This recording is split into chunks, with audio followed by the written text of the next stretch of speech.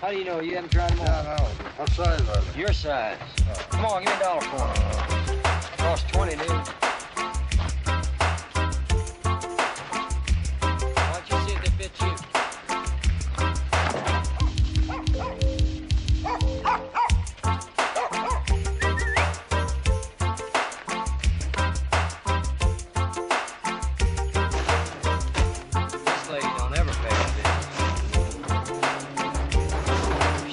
trouble if she doesn't watch out.